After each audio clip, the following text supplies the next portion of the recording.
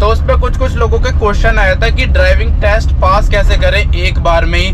तो इस वीडियो में मैं आपको वही बताऊँगा। ये वीडियो देखने के बाद आप एक बार में ही ड्राइविंग टेस्ट पास कर लोगे। वो भी बिना पैसे दिए। तो स्वागत है आप सभी का एक और नई वीडियो में। अभी टाइम हो रहा है सुबह के साढ़े छः और निकल चुका हूँ घर से अपनी टाटा नैनो को लेके। तो ये देख लो, अभी कुछ इस तरह के रास्ते पे हूँ। ऑफ़ कर रहा हूँ थोड़ी सी घर से निकलने के बाद थोड़ी सी ऑफ़ करनी पड़ती है मेन रोड पे जाने के लिए। रोड्स बहुत ज़्यादा खराब से हो रखे हैं। कंस्ट्रक्शन का काम चलता रहता है यहाँ पे। कभी रोड तोड़ते हैं, फिर बनाते हैं, फिर तोड़ते हैं, फिर बनाते हैं। तो जिसकी वजह से रोड खराब रहते हैं। लेकिन अब तो आदत सी हो गई है ऐसे जीने में। अब यहाँ से थोड़ा सा ही रोड शुरू हो गया। लेकिन कुछ टाइम बाद इसे भी तोड़ देंगे और इसे भी कर देंगे खराब। और इस वीडियो में मैं आपको बताने वाला हूँ बहुत ही ज़्यादा इम्पोर्टेंट चीज़। तो बहुत टाइम पहले ना मैंने वीडियोस बनाई थी कि ड्राइविंग कैसे सीखे कार चलाना कैसे सीखे। तो उस पर कुछ कुछ लोगों के क्वेश्चन आया था कि ड्राइविंग टेस्ट पास कैसे करें एक बार में ही। तो इस वीडियो में मैं आपको वही बताऊँगा। ये वीडियो देखने के बाद आप एक बार में ही ड्राइविंग टेस्ट पास कर लोगे। वो भी बिना पैसे दिए। वैसे दिल्ली में तो पैसे दे के बनता ही नहीं है अब लाइसेंस आपको टेस्ट पास ही करना पड़ेगा, तब जाके आपका लाइसेंस बनता है। लेकिन जो और स्टेट्स है, वहाँ पे बन जाता है पैसे दे के लाइसेंस तो अगर मैं अपनी बात करूँ ना तो मेरे को ड्राइविंग सीखे हुए अभी ज़्यादा टाइम नहीं हुआ है। दो तीन महीने ही हुए हैं। और मैंने एक बार में ड्राइविंग टेस्ट पास कर लिया था, और लाइसेंस मेरा एक ही दिन में बन गया था। तो इसीलिए आपको मैं बता सकता हूँ कि एक बार में ड्राइविंग टेस्ट कैसे पास किया जाता है। किन चीज़ों का ध्यान रखना होता है, क्या चीज़ें करनी होती है, क्या चीज़ें नहीं करनी होती? क्योंकि यह आपको वही बता सकता है, जो एक बार में पास हुआ हो, मेरी तरह। वैसे ज़्यादातर लोग ना पास नहीं हो पाते पहली बार में। जब मैं भी टेस्ट देने गया था तो दस में से ये लगा लो तीन चार बच्चे ही पास हुए थे। बाकी सब फेल हो गए थे। और वहाँ पे छोटी छोटी गलतियों पे भी फेल कर देते हैं ना। दिक्कत तो ये है। आपको एकदम ही परफेक्ट गाड़ी चलानी पड़ती है। बिना किसी मिस्टेक के एक भी मिस्टेक होगी तो टेस्ट फेल हो जाता है। और जो ड्राइविंग टेस्ट होता है ना वो रोड पे चलाने से बहुत अलग होता है। ऐसा नहीं कि आपको रोड पे चलानी आ गई तो आप ड्राइविंग टेस्ट में पास हो ही जाओगे। जब मैंने दिया था ड्राइविंग टेस्ट उस टाइम मेरे को रोड पे इतनी ज़्यादा अच्छे से चलानी नहीं आती थी गाड़ी। लेकिन फिर भी मैं पहली बार में ही पास हो गया। क्योंकि वहाँ बिल्कुल ही अलग होता है वहाँ ट्रैफ़िक नहीं होता पतली सी रोड होती है। चार टाइप के आपको टेस्ट देने पड़ते हैं। तो सबसे पहले आपको वही बताता हूँ कौन कौन से टाइप के टेस्ट होते हैं। एक तो होता है, सबसे पहले रिवर्स एस बनाना होता है। उसके बाद दूसरा होता है एट फॉर्मेशन उसके बाद होता है ट्रैफ़िक जंक्शन उसके बाद होता है पैरेलल पार्किंग फिर होता है स्लोप में चढ़ानी होती है गाड़ी, चढ़ाई में। उसमें ना चढ़ाई पे ले जाके आपको बोल देंगे, एकदम रोक दो गाड़ी। फिर 10 सेकंड रोक के रखनी पड़ती है फिर गाड़ी को चलाना होता है और गाड़ी पीछे नहीं जानी चाहिए। बिल्कुल भी। वैसे 12 इंच का रोल बैक अलाउड होता है उसमें, पर फिर भी कोशिश करना कि बिल्कुल ही पीछे ना जाए एक इंच भी। तो वो लास्ट टेस्ट होता है। अगर ये सारे पास कर लेते हो, फिर आपका लाइसेंस बन जाता है। बोल देते हैं वो घर चले जाओ लाइसेंस आ जाएगा तीन चार दिन में या फिर एक हफ़्ते में। तो ऐसा कुछ सिस्टम रहता है। ड्राइविंग टेस्ट का। मैं तो अब हर जगह चला लेता हूँ, ट्रैफ़िक में चला लेता हूँ। भीड़ भाड़ में, पतली गलियों में उबड़ खाबड़ में, पहाड़ों में। वैसे एकदम तो परफेक्ट नहीं हुआ हूँ मैं अभी तक भी।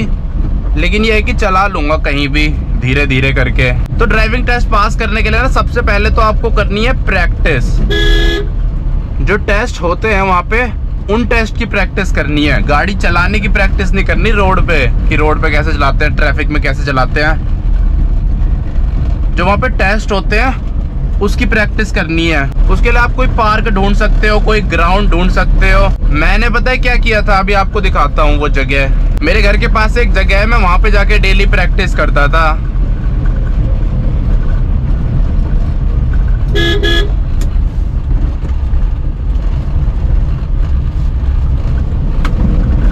तो उस जगह पे ना रिवर्स पार्किंग के लिए भी जगह सी बन रखी है एट बनाने के लिए भी बन रखा है पैरेलल पार्किंग बन रखी है। तो इसलिए मेरे को बहुत आसानी होती थी वहाँ पे प्रैक्टिस करने में। और ये लगा लो, मैंने पंद्रह बीस दिन लगातार प्रैक्टिस करी है डेली जाता था मैं, एक घंटे वही प्रैक्टिस करता था।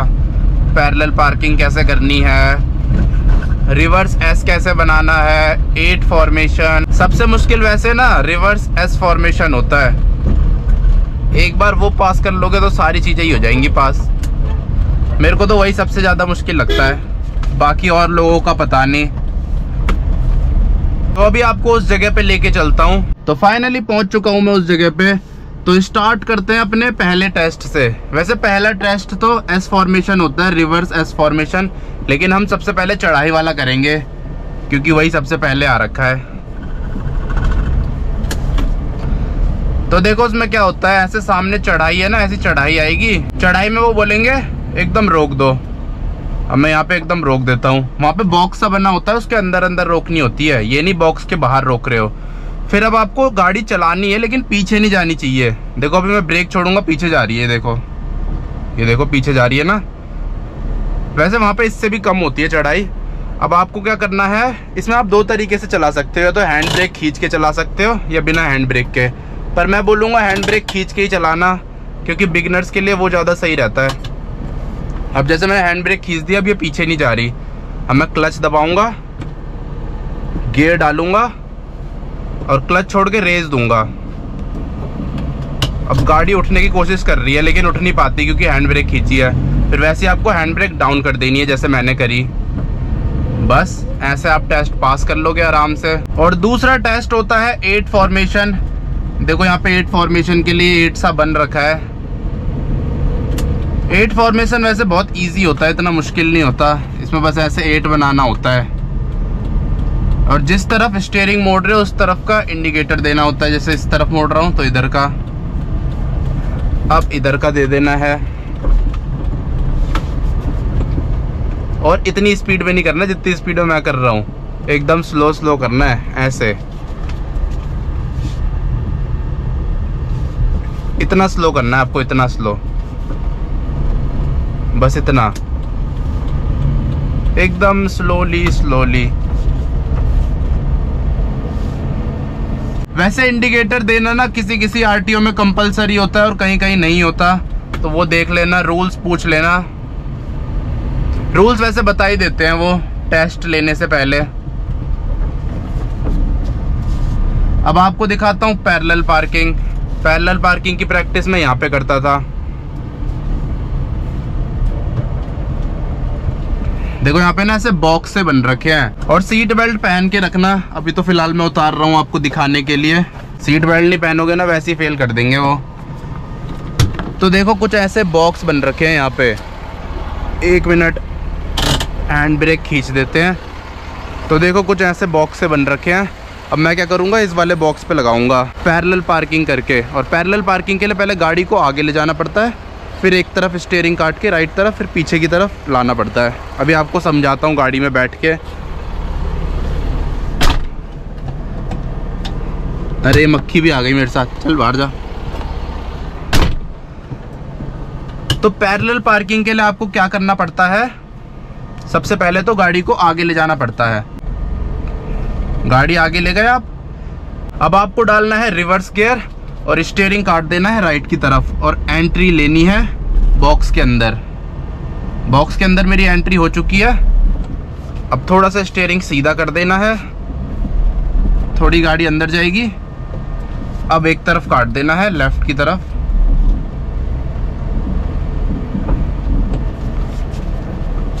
और थोड़ी सी हल्की सी आगे कर देंगे हम गाड़ी को।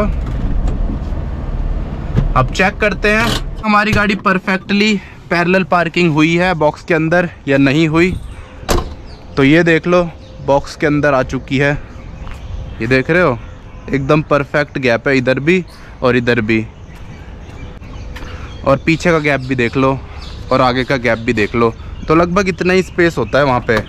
वैसे तो मेरी छोटी सी गाड़ी है, लेकिन जिसकी बड़ी गाड़ी होती है, उसको थोड़ी दिक्कत होती है। देख रहे हो क्या परफेक्टली मैंने पार्क कर दी? पैरेलल पार्किंग और अब एक टेस्ट और बचता है, वो है reverse S formation reverse S formation की प्रैक्टिस भी मैंने यही करी थी. तो देखो रिवर्स एस में मैं क्या करता था? वहाँ सीधा ले जाता था, वहाँ तक गाड़ी, फिर वहाँ से रिवर्स कर करके कर करके, और यहाँ से अंदर पार्किंग में लगा देता था. तो यहाँ पे मैं प्रैक्टिस करता था रिवर्स एस फॉर्मेशन की.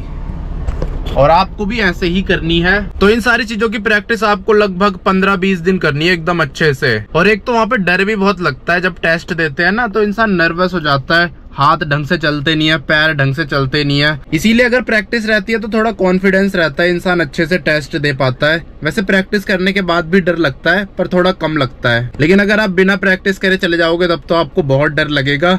और आपके फेल होने के चांस भी बहुत ज़्यादा रहेंगे पास होने के चांस बहुत कम रहेंगे। लेकिन अगर आप 15-20 दिन अच्छे से प्रैक्टिस करके जाओगे तो पास होने के चांस बहुत ज़्यादा बढ़ जाते हैं। तो इसीलिए कभी भी जाओ तो अच्छे से प्रैक्टिस करके जाना, बिना प्रैक्टिस के गलती से भी मत चले जाना, पैसे भी वेस्ट होंगे टाइम भी वेस्ट होगा और आप पास भी नहीं हो पाओगे। प्रैक्टिस करके जाना बढ़िया, पंद्रह बीस दिन। ताकि एक बार में पास हो जाओ। और उस चीज़ से कोई फ़र्क नहीं पड़ता आपको रोड पे कितनी चलानी आती है। जितनी आपने प्रैक्टिस की होती है ना, उससे फ़र्क पड़ता है। प्रैक्टिस अच्छी होगी तो आप जल्दी पास हो जाओगे एक बार में प्रैक्टिस नहीं होगी और आपको रोड पे कितनी अच्छी चलानी आती हो, आप पास नहीं हो पाओगे। बहुत सारे लोग ना ऐसे भी आते हैं वहाँ पे, जो दस दस साल से पाँच पाँच साल से गाड़ी चला रहे हैं, लेकिन फिर भी फेल हो जाते हैं। और वो इसीलिए होते हैं, वो सोचते हैं प्रैक्टिस करके क्या करना, हमें तो आती है गाड़ी चलानी, हम तो पाँच दस साल से चला रहे हैं, लेकिन फिर भी फेल हो जाते हैं। और बहुत सारे मेरे जैसे लोग जिनको रोड पे ढंग से गाड़ी चलानी नहीं आती, वो भी पास हो जाते हैं वहाँ जाके। वैसे अब तो आती है मेरे को रोड पे चलानी, लेकिन तब की बात कर रहा हूँ। उस टाइम तो मेरे को गाड़ी सीखे हुए एक महीना ही हुआ था। तो ये मेरी पहली गाड़ी है, ये मैंने सीखने के लिए ही खरीदी थी। अब मैं एकदम सीख चुका हूँ इससे गाड़ी चलाना। और ये गाड़ी लिए हुए अभी मेरे को तीन चार महीने हो चुके हैं। और एक बार बाहर से देख लो मेरी गाड़ी, कुछ ऐसी दिखती है। टाटा नैनो। ये देख रहे हो क्या बढ़िया लग रही है। ड्राइविंग टेस्ट में ना इस गाड़ी का बहुत फ़ायदा है। आप आराम से पास कर लोगे। छोटी सी है, कहीं भी मुड़ जाती है और इसे बहुत कम जगह चाहिए होती है। और गाड़ी से ना मेरे को एक और चीज़ याद आई। टेस्ट देने जाओ ना तो कोशिश करना छोटी गाड़ी लेके जाओ। क्योंकि वहाँ पे मैंने ऐसे भी लोग देखे हैं जो फॉर्चुनर ऐसी गाड़ी ले जाते हैं, इनोवा, फिर टेस्ट में फेल हो जाते हैं। तो जितनी ज़्यादा छोटी गाड़ी ले जाओगे, आपके लिए आसानी रहेगी। और वही गाड़ी ले जाना जिससे आप प्रैक्टिस करो 10-15 दिन। दूसरी गाड़ी मत ले जाना। तो आपको बस इन कुछ कुछ चीज़ों का ध्यान रखना है, जिसको फॉलो करके आप आराम से एक बार में टेस्ट पास कर लोगे। तो फाइनली नैनो को लेके पहुँच चुका हूँ वापस घर, और इसी के साथ इस वीडियो को यहीं पे एंड कर देते हैं। अब आपसे मिलता हूँ कल अगली वीडियो में। जय हिंद।